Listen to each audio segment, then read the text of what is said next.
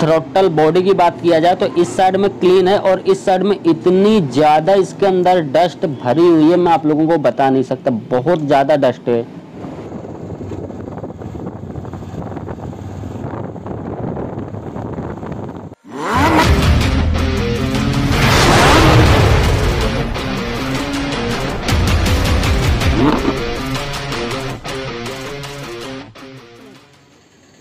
Hello guys welcome back to my channel technology bike vlog मेरा नाम है इम्तियाज़, आज मेरे पास टीवीएस की Apache R T R one sixty B S six bike है और इस बाइक में प्रॉब्लम कैसी हो रही है? जैसे हम एक्सीटर छोड़ते हैं बाइक बंद हो जाती है। बाइक चलते चलते मिसिंग करती है। सबसे पहले मैं बाइक को स्टार्ट करके आप लोगों को दिखा देता हूँ किस तरीके से बाइक मिसिंग कर रही है, देखो। ये होगा स्टार्ट आरपीएम चेक करो। बंद हो गई। चेक इंजन लाइट चली जाती है स्टार्ट होने पर देखो। देखो आरपीएम चेक करो। बंद हो गई। कुछ इस तरीके से प्रॉब्लम कर रही है, बीच में झटके लेती है।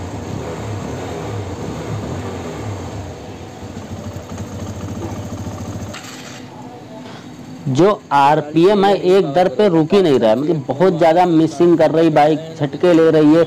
क्लच दबा लो बाइक बंद हो जाती। है चलते चलते क्लच दबाओ बाइक बंद हो जाती है। तो जिसमें मेरे को जो इसमें प्रॉब्लम लगी, वो थ्रोटल बॉडी की लगी है।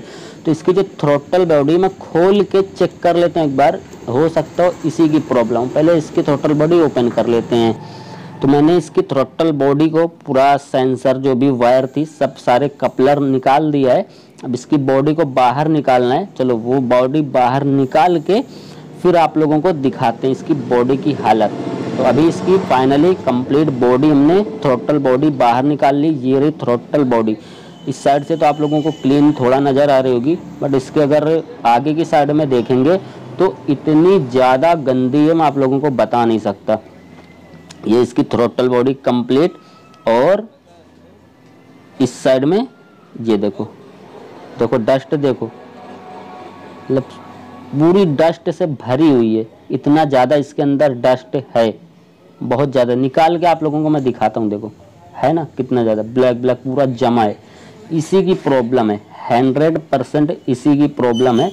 इसको क्लीन करेंगे और फिटिंग करेंगे और फिर दिखाएँगे आप लोगों को। बाइक बिल्कुल बढ़िया मक्खन जैसी चलने लगेगी। इस साइड का तो बढ़िया है।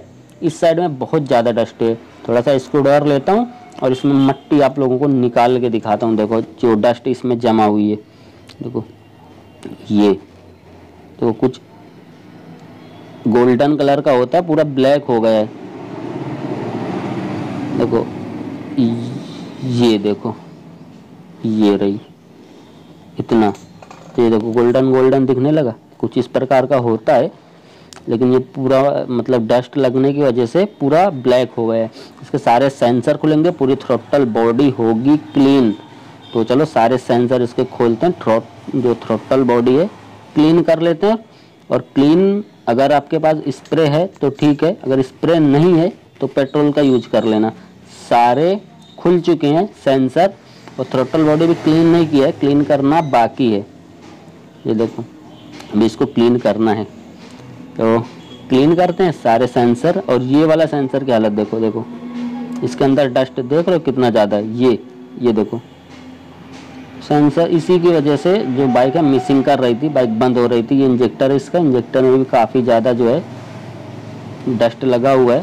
सारे क्लीन करते हैं अभी इसका, जो पूरा थ्रोटल बॉडी हमने कर दिया है क्लीन देखो। चमक गई ना पूरी बढ़िया तरीके से, ये देखो। बिल्कुल बढ़िया तरीके से इसे चमका दिया है। पूरी बढ़िया हो गई और इसे किया पेट्रोल से क्लीन। स्प्रे से नहीं किया, पेट्रोल से क्लीन किया। बहुत बढ़िया पेट्रोल से भी क्लीन होती है। अगर स्प्रे है तो ठीक है, वरना पेट्रोल से कर लेना। सारे जो सेंसर हैं, क्लीन कर दिए इनको क्लीन पेट्रोल से नहीं करना है, कपड़े से करना है। क्योंकि इस पर जो ओरिंग होती है, वो प्रॉब्लम कर जाएगी। अब चलो, सारे सेंसर को बॉडी में फिटिंग करते हैं। और सबसे जो पहला काम है, इसका इंजेक्टर ये रहा इंजेक्टर और इंजेक्टर को क्लीन किया कपड़े से, खूब अच्छे से क्लीन कर लेना कपड़े से और इसमें होगी एक ओरिंग तो ये रही ओरिंग ये ओरिंग को हमको यहाँ पे बैठाना है। तो ओरिंग जो है, बैठ गई है। थोड़ा सा और दबा लेते हैं। अच्छे से बैठा लेना ओरिंग को और उसके बाद ये रहा इंजेक्टर इंजेक्टर को लगाते हैं। ये कुछ इस तरीके से लगाना है। हल्के हाथ से अंदर की तरफ़ प्रेस करना ओरिंग में बैठाना है इंजेक्टर को।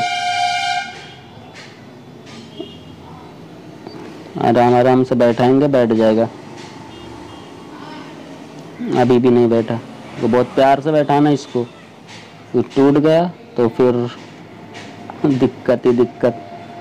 मानते हो मेरी बात को ना? चलो, अभी ये बैठ बैठ गया। यहाँ से पकड़ेंगे और इसे दबा देंगे।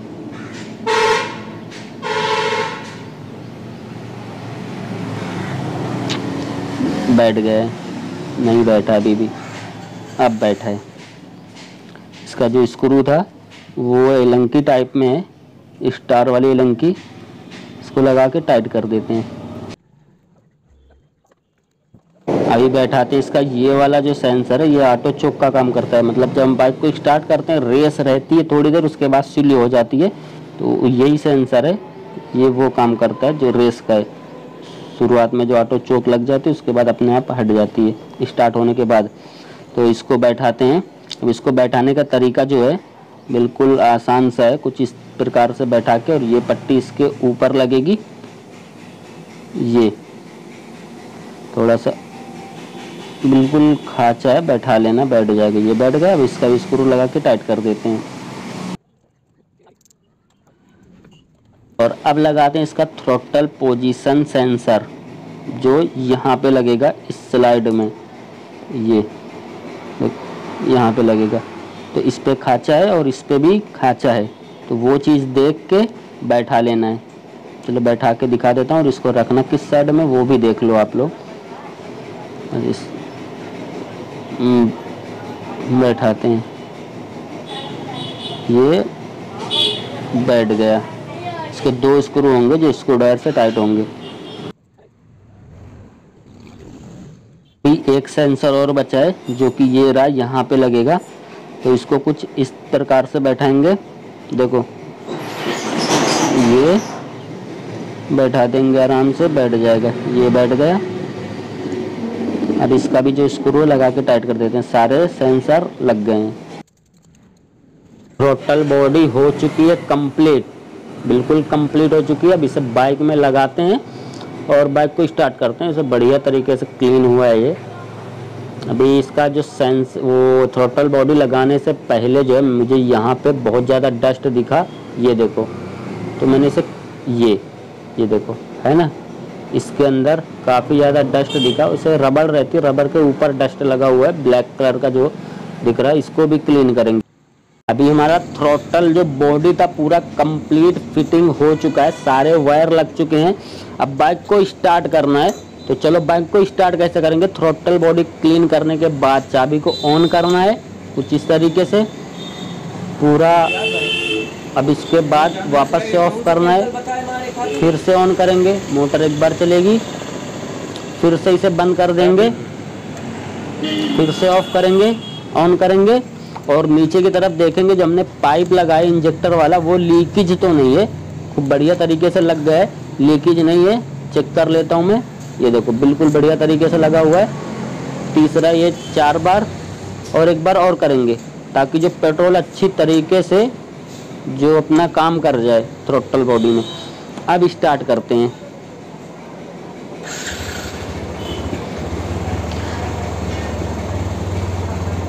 आरपीएम जो अभी दो पे है, ये धीरे धीरे क्या होगा, ये डेढ़ पे आ जाएगा। ऑटो चौका भी लगा हुआ है। पेट्रोल कम है, बाइक में पेट्रोल कम है। मिसिंग तो नहीं कर रही है। देखो आरपीएम आ गए डेढ़ पे।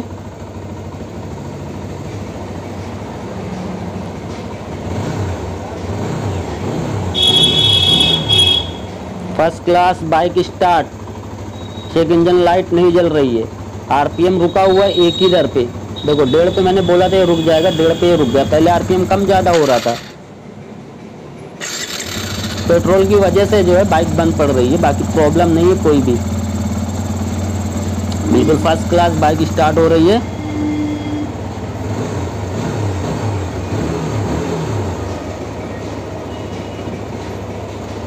बिल्कुल बढ़िया, कोई दिक्कत नहीं आरपीएम भी बिल्कुल एक दर पे। है देखो आरपीएम एक ही दर पे रुका हुआ है। पहले ये कम ज़्यादा हो रहा था, जब मेरे पास आई थी। बहुत ज़्यादा कम ज़्यादा कम बंद हो जा रही थी।